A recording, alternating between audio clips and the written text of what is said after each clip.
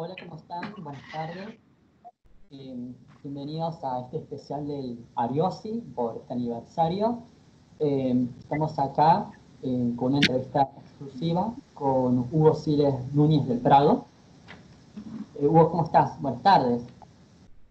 Buenas tardes, Federico. Buenas tardes, Gustavo. Un placer un poder encontrarnos por este medio y un saludo desde Bolivia, desde Santa Cruz, Bolivia, donde estamos en este momento. Bueno, básicamente voy a empezar con una especie de introducción como para darte a conocer. Eh, Hugo eh, José Siles Núñez del Prado es un internacionalista y politólogo de profesión. Eh, se tituló en la Universidad Católica de Córdoba, en Argentina, y posee una maestría en comercio internacional, además de una maestría en administración pública y gobierno autonómico de la Universidad Santiago de Compostela.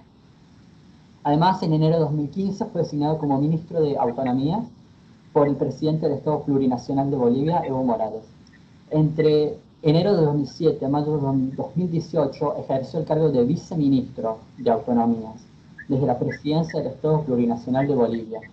Hasta, antes de asumir la cartera de autonomía, Siles se desempeñó como oficial mayor de coordinación del gobierno autónomo municipal de Santa Cruz de la Sierra entre 2001 a 2005 y fue también concejal electo por el municipio de Santa Cruz de la Sierra, 2010-2014. Fue además presidente del Colegio de Profesionales Internacionalistas y fundador en 1995 de la primera carrera de Relaciones Internacionales en Bolivia, en la Universidad NUR en Santa Cruz.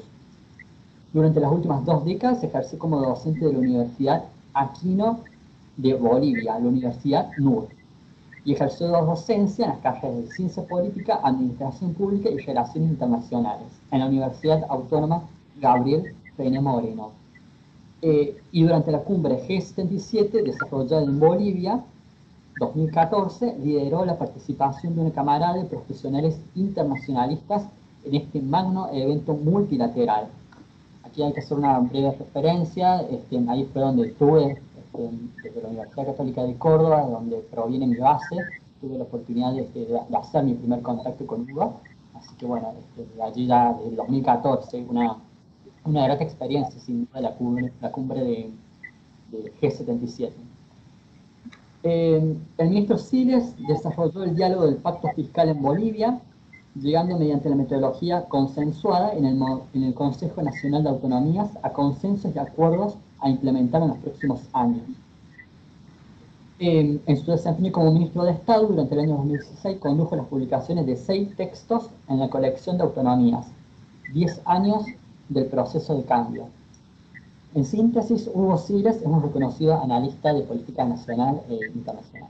Así que bueno, muchas gracias y bienvenido Hugo a este especial este, del ARIOSI del área de relaciones internacionales del Observatorio de Comercio Internacional de la Universidad de Luján. Así que, este, bueno, eh, bienvenido. Gracias. Gracias, Federico. De nada. Y le tenemos también a eh, Gustavo Festelli. Gustavo, ¿cómo estás? Hola, Federico. Buenas tardes.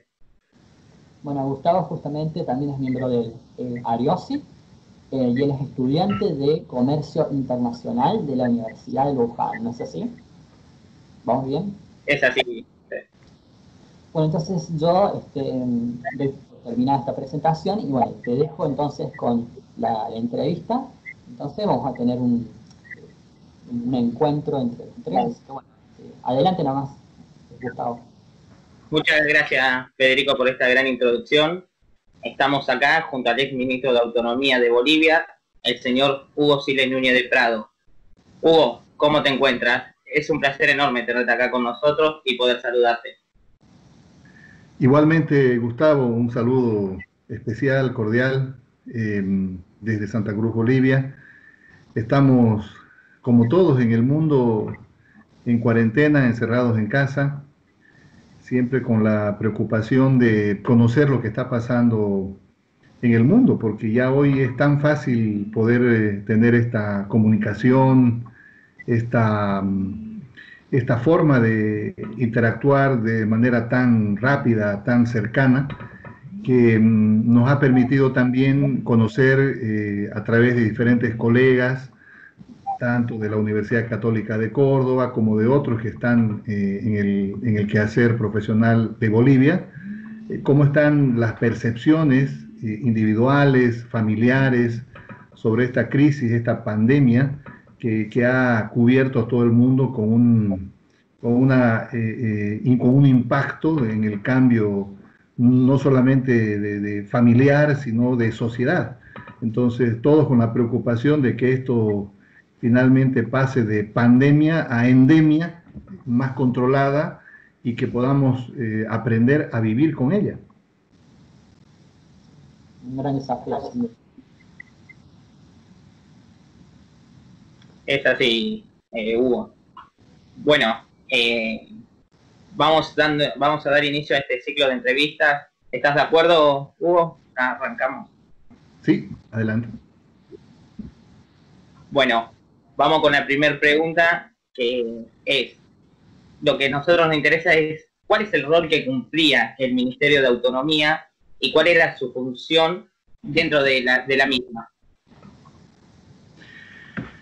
Bueno, eh, Bolivia, mm, a partir del mm, el año 2006, eh, introduce toda una nueva agenda en la Asamblea Constituyente de ese entonces una agenda eh, para poder configurar una nueva constitución política del Estado en Bolivia. Y a partir de ello, el Estado en su vieja dimensión centralista, centralizada, da paso a, a las autonomías en el país, a un proceso de descentralización político-administrativa muy consciente de las diversidades que tiene Bolivia en sus regiones, en sus culturas, en sus pueblos, en sus naciones indígenas. Pues en ese marco es que las autonomías se introducen en la Constitución y se identifican como una forma esencial de la estructura del Estado. El Estado pasa de tener el monopolio del ejercicio del poder legislativo en el, en el nivel central a poder configurar un espacio territorial con entidades territoriales autónomas, municipios, eh, eh, nivel intermedio, gobernaciones, autonomías indígenas, eh, autonomías regionales. En ese marco es que se configura la necesidad de una ley marco de, autonomías y con ello también nace la cartera de Estado el año 2009, el Ministerio de Autonomías.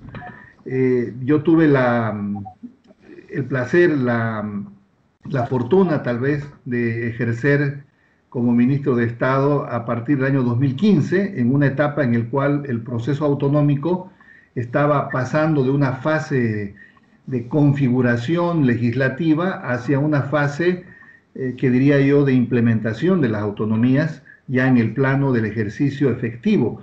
Entonces, en ese marco eh, me tocó estar en un ministerio eh, que tenía como principal función el de poder coordinar y trabajar desde el nivel central para eh, que el, ejercicio autonómico, la configuración de los gobiernos autónomos, de las entidades territoriales autónomas, pueda hacerse efectiva a partir de un nivel de coordinación entre el nivel central del Estado y las entidades territoriales autónomas. El Ministerio de Autonomías eh, va a tener un rol fundamental en la configuración de ese Estado eh, eh, social, de derecho, plurinacional, pero con autonomías. Y por eso Bolivia muta hacia un Estado plurinacional con autonomías, con gobiernos autónomos no somos un, Estado federal, somos un Estado unitario, pero que está compuesto por gobiernos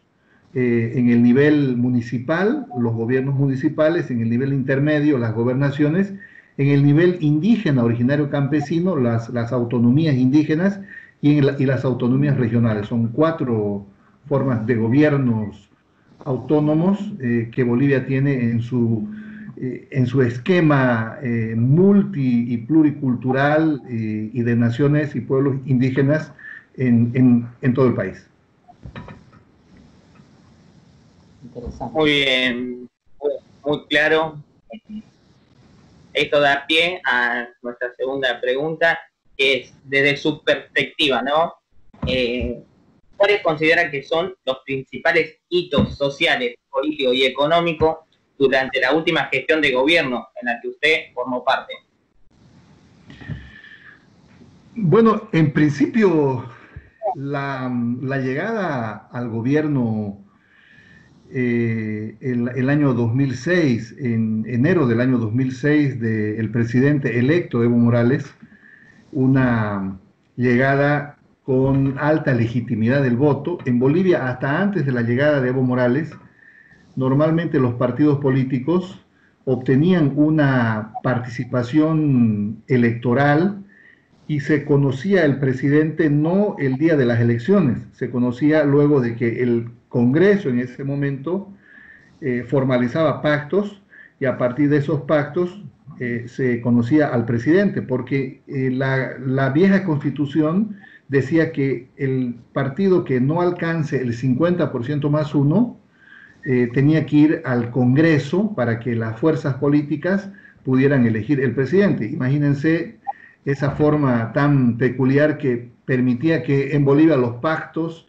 por la democracia, así llamados, eh, eran pactos eh, inminentes, tal vez en la trastocación del voto del ciudadano. El ciudadano votaba por un partido para que ese partido pueda salir eh, victorioso, pero ese partido se aliaba con el partido con el que competía en términos ideológicos opuestos y en ese marco se formaba un gobierno eh, que tenía a dos o tres o más partidos. Entonces, Evo Morales rompe con esa tradición y saca el 54% y por ello eh, la, llegada al poder y al gobierno de Evo Morales le da una amplia legitimidad que fundamentalmente se va a, eh, ratificar con una serie de medidas primero la Asamblea Constituyente, la decisión del pueblo de nacionalizar los recursos naturales, los hidrocarburos.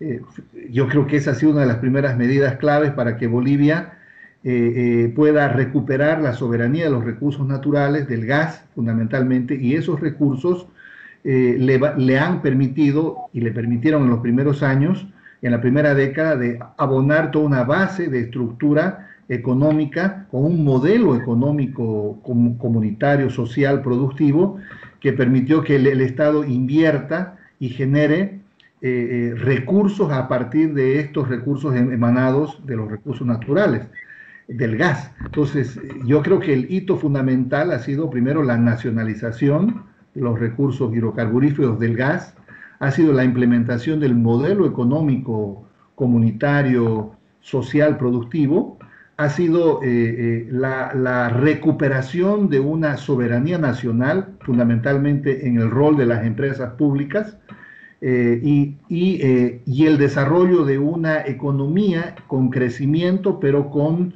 una alta dimensión social, es decir, con la búsqueda permanente de llegar a, eh, modificar los grandes frenos estructurales que tenía la economía y la sociedad en Bolivia. Me, refiero a la educación, el analfabetismo, eh, eh, los problemas de, mm, precariedad, de agua potable, de, salud, todos estos temas fueron parte de la inversión del Estado, que permitieron que en gran medida la población boliviana pudiera mejorar su calidad de vida. Por decirles, del salario, para que ustedes se den una idea, el salario que tenía un boliviano, el salario mínimo, el año 2005, eh, el año 2006, cuando ingresa a la presidencia Evo Morales, era, era de 45 dólares más o menos.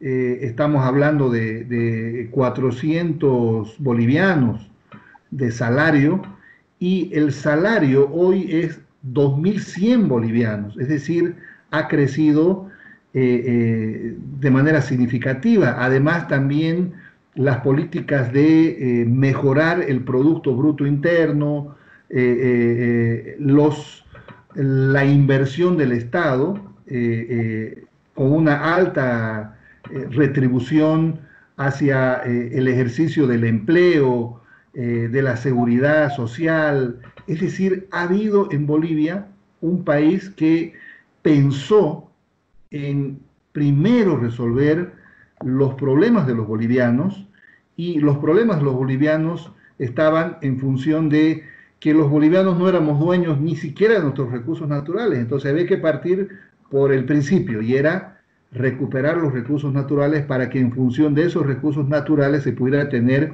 el excedente y la, y la, y la capacidad para generar la inversión pública tan necesaria para el país. Bolivia era un país inter, eh, eh, eh, era desmembrado y no estaba conectado ni siquiera por medio de carreteras asfaltadas. Es decir, teníamos dificultades para poder transitar por carreteras asfaltadas. Esos problemas estructurales son los que se empezaron a atender, lo cual generó también una alta inversión pública, una, fuerte concentración de un mercado interno que, permitió que eh, el boliviano, el ciudadano, pudiera mejorar su calidad de vida. Creo que el eh, eh, acierto, insisto, fue la nacionalización del gas, de los recursos hidrocarburíferos. Haciendo un breve balance de lo que acaba de mencionar, creo que hubo un antes y un después en cuanto a la política y la economía de este país. Sí, sí, sí, hay un antes y el antes tiene que ver con eh, la Bolivia sumergida en la dependencia, en la falta de soberanía para decidir sobre los grandes asuntos estratégicos.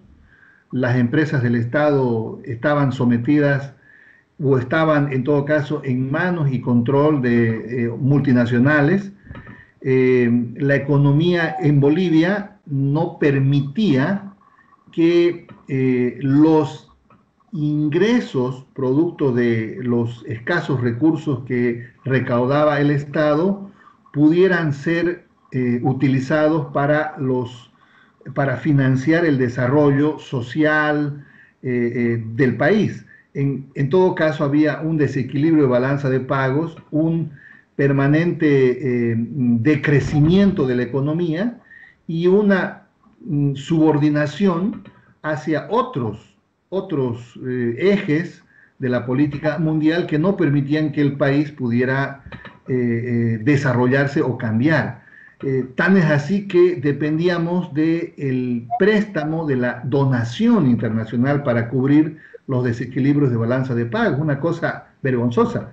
Eh, para, para, pagarles a los, a los maestros o al servicio de salud había que esperar la donación de algunos países. Entonces, esto era una cosa insostenible y por eso que las grandes decisiones que se tomaron el año 2006 de nacionalizar los hidrocarburos, el gas, permitió que Bolivia empiece a recuperar la soberanía de sus recursos, de sus empresas, y eso permitió que la economía eh, genere una alta concentración en la inversión pública.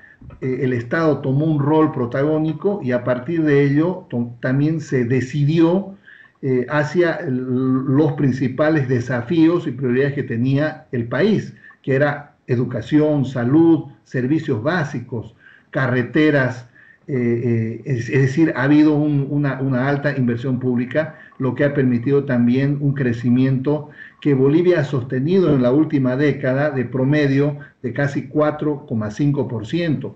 Eh, ha sido el país que más ha crecido económicamente, pero curiosamente ha sido el país que ha crecido con una ecuación social.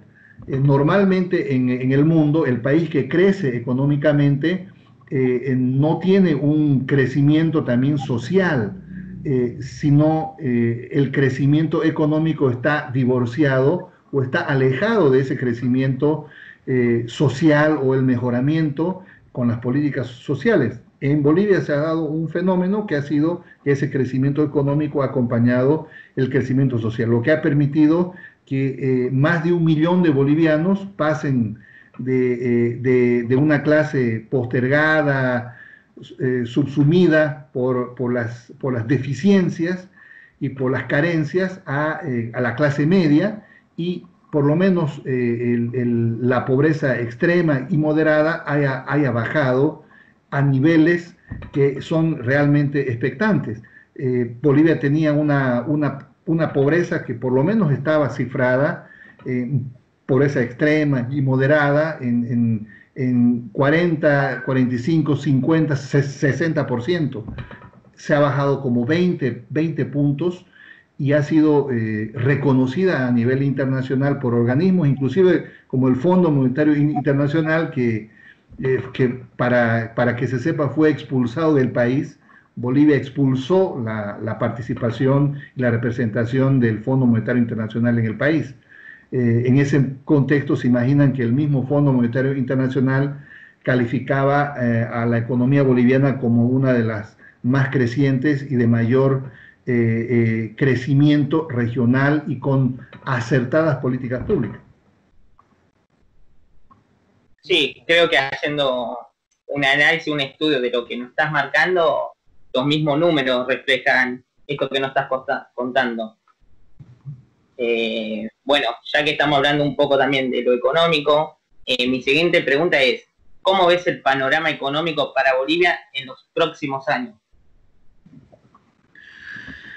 Bueno, eh, sin duda que esta, esta situación que fue provocada el año 2019 en noviembre, en una interrupción del el mandato constitucional del presidente Evo Morales, ha generado una situación muy complicada para el país, porque el hecho de que en,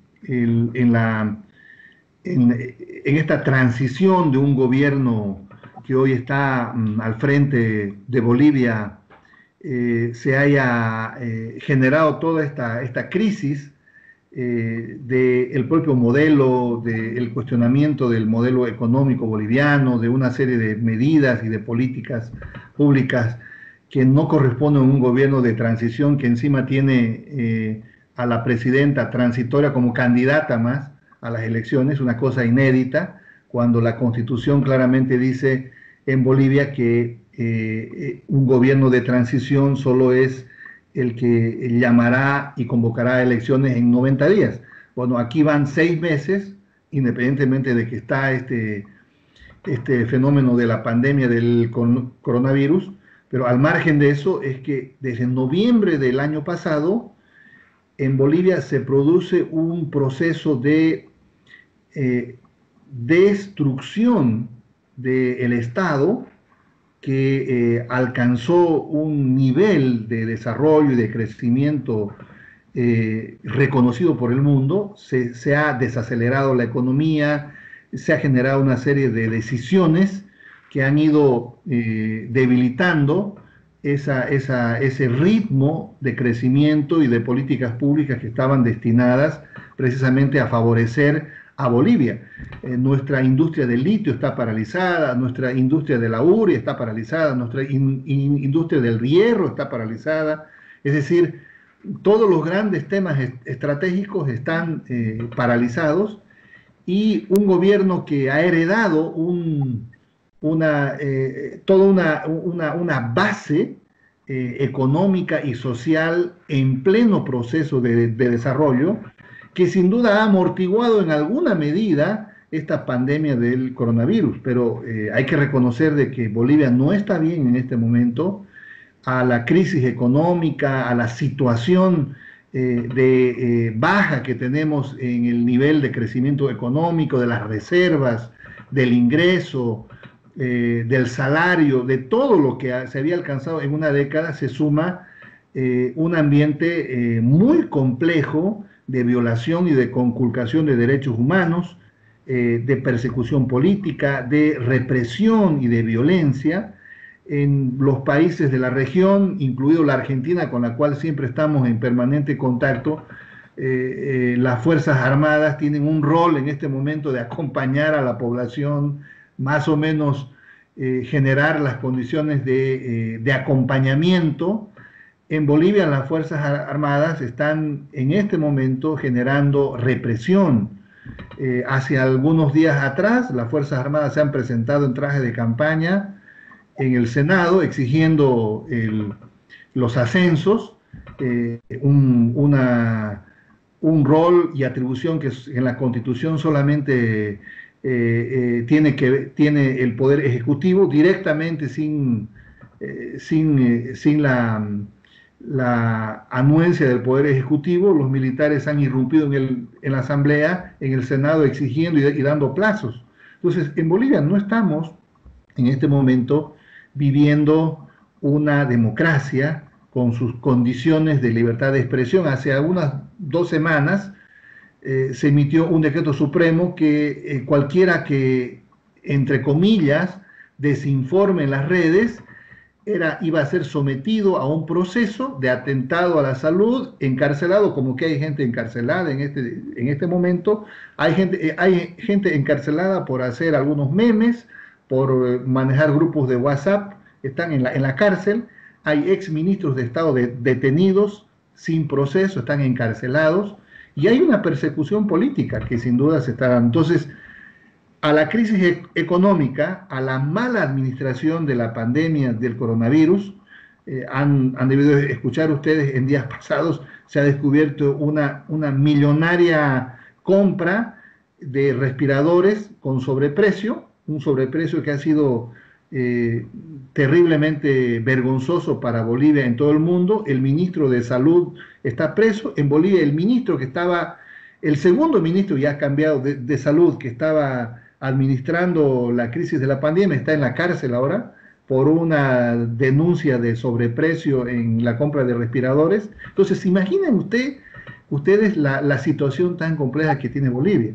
Eh, desaceleración económica, mala administración de la crisis de la pandemia del coronavirus, corrupción, persecución política, conculcación de derechos, es decir, hay una, hay una situación realmente complicada en Bolivia, por eso es que urge eh, la necesidad de que las elecciones finalmente puedan darse en los próximos 90 días o un poco menos ya, para que Bolivia retome un carácter de institucionalización de los temas centrales que no puede un gobierno transitorio tomar decisiones, no puede tomar decisiones sobre lo que va a pasar con el futuro del litio, con el hierro, con otras empresas estratégicas, hasta con la propia política económica y, las medidas que eh, tendrán que tomarse en los próximos años para poder reparar todas las consecuencias de la pandemia del coronavirus que afectarán a eh, familias, a sectores, a la población en Bolivia. Entonces todo esto debe dirimirse a partir de las elecciones que ya estaban convocadas para el 3 de mayo pero que por esta pandemia del coronavirus, ahora más o menos entre comillas se utiliza el coronavirus y la pandemia para seguir retrasando las elecciones en un gobierno que está sumido y está lamentablemente eh, sin timón para poder eh, sacarnos de esta, de esta pandemia, mitigar y por lo menos generar las condiciones democráticas, transparentes para ir a elecciones eh, en los próximos tres meses. Entonces, no estamos bien en Bolivia.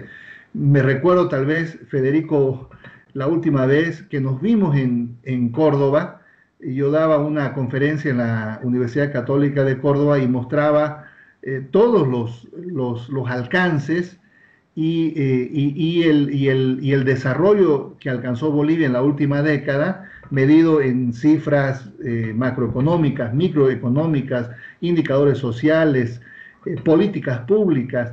Eh, hoy estamos cada día que pasa perdiendo todo eso que alcanzamos en una década, en 14 años, y eh, vamos, vamos a tener que hacer en Bolivia un gran, seguramente, acuerdo político post elecciones para, para poder encontrar nuevamente la ruta que nos permita recuperar lo que alcanzamos en más de una década en el país creo que se entiende claramente el punto de vista al cual nos estás marcando, eh, teniendo una región en la cual tenemos mucho para aprovechar, esta cosa en cuanto a lo político no se está aprovechando, tanto creo eh, como Bolivia como el país vecino que somos nosotros Argentina. Así que esperemos que en las próximas elecciones eh, pase algo positivo y el próximo mandatario vea estas cosas, la cual podemos aprovechar para tener un futuro mejor. Así es, así es Gustavo. Eh, eh, creo que hoy en Bolivia necesitamos más que nunca eh, aterrizar sobre un nuevo gobierno que sea surgido a partir del voto popular de las urnas, con transparencia, en condiciones de igualdad, y que ese gobierno, ese gobierno sea quien tome las decisiones de mediano y largo plazo para poder recuperar la economía y la sociedad tan, tan golpeadas en Bolivia. Entonces, eh, eh, todos los bolivianos estamos esperando que eh, mitigue un poco esto de la pandemia del coronavirus, entendemos, pero también se ha utilizado como un pretexto, como para eh, en este momento alguien quiere hablar de elecciones y, se molesta el gobierno transitorio eh, porque más o menos dice no, no hay que hablar de elecciones, hay que, hay que seguir eh, con las cuarentenas, estamos de acuerdo, hay que asumir con conductas responsables, no hay que romper cuarentenas, hay que buscar la forma de mitigar, hay que educar a la población, pero es imposible pensar una situación de gobierno transitorio indefinido, vale la, contradicción. Eh, es un gobierno transitorio, eh, eh, no puede haber una extensión indefinida de este gobierno porque ya afloran una serie de tomas de, decisiones que son complicadas y que hay que tomarlas desde la legitimidad de un gobierno. Imagínense este gobierno, fíjense para que tengan una idea, eh, de la composición más o menos porcentual de poder de representación. Este gobierno, que está transitoriamente, más o menos representaría un 4% del voto. Pero la Asamblea Legislativa Plurinacional, la Asamblea, el Congreso, digamos, boliviano, hoy representa una votación del 64%. O sea, tienes la Asamblea Legislativa Plurinacional, el Congreso, que, vendría a ser en Argentina, donde eh, la, emergencia de ese Congreso representa al 67% de la 64% de la población que votó por ese Congreso. O sea, que votó para que haya mayoritariamente una fuerza política. Pero el gobierno que está instalado transitoriamente, si calculamos cómo, qué, qué porcentaje de votación obtuvo en la última elección, 4%. Eso es lo que está pasando en Bolivia. Entonces, lo que tiene que haber de manera racional, eh, eh, sensata, es que se puedan instituir nuevamente las instituciones del Estado a partir de la votación del soberano en unas elecciones que le permitan al país eh, dirimir este, este campo tan complejo que tenemos en este momento en Bolivia. Muy claro todo, Hugo. Eh, Federico, eh, no sé si tenés alguna pregunta. Por mi parte, creo que ya tengo concluida las preguntas a realizarle. Eh, Federico, ¿me escuchás? Sí, te escucho. Bueno, no sé si nos brevemente, ya estamos a tiempo, ya casi, un poco de tiempo respecto a la posibilidad de relaciones comerciales entre Argentina y Bolivia. Esta complementariedad. No te estoy escuchando muy bien, Federico. Un, poquito. Se te ha ido el volumen. Un poquito más fuerte. ¿Ahí? Sí. Te escucho bajito, bajito. Sí, sí. A ver, a ver. Ahora sí, ahora sí. ¿Ahora sí? ¿Sí? Ahora Estaba. A ver. A ver, ahora sí. Sí, mi pregunta iba más acerca de los vínculos comerciales entre Argentina y Bolivia. Brevemente, estamos justo, justo pero, pero bueno, ¿de qué forma se podría complementar esta, esta, relación? Sobre todo teniendo en cuenta que hay muchas personas que están viendo, sobre todo del área de comercio internacional, muchos estudiantes de relaciones internacionales, comercio internacional y otras carreras afines. Dos este, economías que sin duda latinoamericanas que están en vías de desarrollo. Van en, un camino, ¿no? Bueno, tradicionalmente Argentina y Bolivia han tenido una relación de vínculo comercial caracterizado por el contrato de compra-venta de gas. Eh, Bolivia eh, por muchos años le vende gas a la Argentina. Quizás lo novedoso del asunto, quizás que algunos, que pocos saben, pero Bolivia en la última década empezó a aumentar su cualidad de poder eh, venderle eh, no solamente gas, sino energía eléctrica, eh, incluso mm, planteando ya la internacionalización de algunas empresas bolivianas para poder producir en territorio argentino algunos derivados industriales del gas. Em, por supuesto, de la Argentina, eh, tradicionalmente también por ser un país eh, industrializado, con mayor capacidad industrial, eh, hemos tenido siempre la necesidad de, importar maquinaria, tecnología. De hecho, Bolivia hizo compras importantes en los últimos años de automotores para para diversos usos en el servicio público, me refiero a ambulancias eh, y otros que, han servido también. Y por cierto, eh, se dio un fenómeno también así. Normalmente en el pasado los gobiernos bolivianos buscaban la forma de buscar una donación, siempre en la Argentina, de estos productos, de estos... Eh, de algunas cosas que eran necesarias para el país. En los últimos años Bolivia ha hecho sus compras con la Argentina, lo cual obviamente eh, significó también pasar de ser un país mendigo que extendía la, mano para recibir de donación algunos, algunos bienes en la Argentina a ser un país que sí ha comprado sus productos y ha generado una relación mucho más seria con la Argentina, fundamentalmente en el, plano del, comercio. incluso en la última en los últimos años también se ha, se ha trabajado con la tecnología eh, de los centros de energía nuclear que se están construyendo en Bolivia, que tienen tecnología argentina. Nosotros sabemos del, nivel que tiene la, Argentina en los institutos de ciencia y tecnología.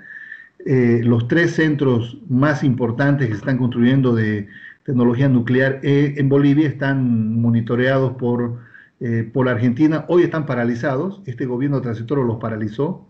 Eso se, seguramente se reanudará una vez que entre un gobierno después de las elecciones.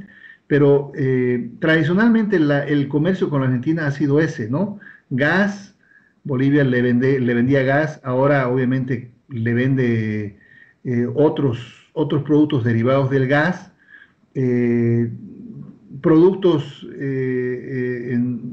manufacturados, exportaciones no tradicionales, principalmente algunas frutas, verduras, eh, eh, pero eh, el mayor volumen mm, que ha tenido de este comercio entre ambos países ha estado siempre caracterizado por el gas. el comercio ha sido cada vez más, más intensivo entre ambos países, porque como dije, Bolivia reordenó y estableció un comercio más serio con la Argentina. Incluso en, la, última, en el último año se estaba viendo la compra de unos aviones también argentinos eh, que ya estaban en trámite prácticamente. Se han comprado una serie de, como, dije, eh, maquinarias argentinas que, han, que hoy eh, han permitido que en vastos sectores de la economía, de la salud, de los servicios estén funcionando de manera óptima en el país. Entonces, eh, entre ambos países, si bien tenemos un acuerdo de alcance parcial eh, eh, de complementación económica, el AC36, que es el, que es el acuerdo. Somos un país que en trámite estamos ya virtualmente en el Mercosur, pero Bolivia en esta última década ha ido resolviendo también sus problemas estructurales. Uno de los grandes problemas ha sido nuestras vías de comunicación, la reactivación de la hidrovía Paraná-Paraguay, la creación de Puerto Bus, el, funcionamiento de una economía que es más estable, ha permitido también generar mayor confianza entre ambos países y diversificar las exportaciones, que como dije ya no solo están en el gas, en los, en los derivados del gas, sino también en otras manufacturas que han ido copando el comercio entre ambos países. Entiendo que incluso la Argentina reanudó también el ferrocarril que otrora iba hasta hasta, hasta, hasta Quiaca, Villazón eh, o hasta Yacuiba, eh, Positos. Entiendo que también han hecho gestiones para que se reanude ese ferrocarril, mejorando las vías de comunicación con Bolivia. Pero insisto, entre ambos países hay una, un acercamiento en la última década mucho más intensivo para generar comercio bilateral tecnología y generar alianza estratégica que, permita que ambos países puedan mejorar eh, su producción en los, en, los, en los productos que mayormente son eh, de, alto, de alto comercio y que han sido tradicionalmente eh, de alto comercio como es el gas, ¿no? De manera que entonces el efecto el gran desafío entonces tratar de diversificar y profundizar aún más vínculos comerciales, ¿no? Sí, así es, sí, eh, eso es, eh, hay que, la idea es diversificar nuestra, nuestras exportaciones y poder alcanzar un nivel estratégico, principalmente en el norte argentino y el sur boliviano, donde ahí confluyen una serie de economías, ¿no? más que nacionales, regionales, yo diría, y que han permitido generar buena, buena comunicación entre ambos países. De hecho, eh, aquí en Santa Cruz, por ejemplo, se, cada año, yo no creo que este año pase eso, pero hay una feria muy importante, una feria internacional de comercio, de servicios, eh, y, en esa feria normalmente llegan eh, la mayoría de los gobernadores del norte argentino, vienen gobernadores de, Tucumán, de Salta, Jujuy, eh, y se genera una, relación muy intensa de comercio con el sur boliviano. Eh, la estabilidad en Bolivia permitió también que la Argentina pueda tener socios eh, estratégicos más confiables, con mayor estabilidad también en esta relación de comercio que, insisto, se ha diversificado mucho en los últimos años. hemos excedido un poco de tiempo, pero la verdad que ha sido una, una entrevista muy interesante, ha sido un primer encuentro, espero que sea el primero de muchos, muchas oportunidades, este, no solamente con ustedes, sino también con, toda Bolivia, este, desde OSI, específicamente desde nuestra área de relaciones internacionales. Así que bueno, sin nada más que decir, este, bueno, creo que hemos llegado al fin, ¿no, Gustavo? ¿Gustavo, me escuchás? Sí, ahí te escucho, Fe. Eh, por mi parte ya está todo dicho. Creo que fue una entretenida conversación, muy nutrida y esperemos seguir estrechando nuestro vínculo. Así que por mi parte, Hugo, muchísimas gracias. Eh, fue un placer enorme tenerte acá con nosotros. Gracias, gracias Gustavo, gracias Federico por la oportunidad. Yo siempre cuando tengo alguna, algún contacto con la Argentina, con Córdoba, que me une un lazo ahí de, convivencia, de, vida. De hecho, a fin de año estuve en Córdoba, estuve en la Argentina. Eh, me emociono porque la Argentina me dio mucho, eh, quiero mucho a, la Argentina, tengo muchos amigos, compañeros y vivo prácticamente a diario sabiendo, informándome cómo están allá. Entonces, para mí siempre un placer conversar y dialogar con colegas argentinos. Gracias, Gustavo. Gracias, Federico. Estamos por finalizada eh, esta entrevista dentro de este ciclo de, la biosfera. Así que bueno, muchas gracias a todos y bueno, continuamos con, con la transmisión. Gracias.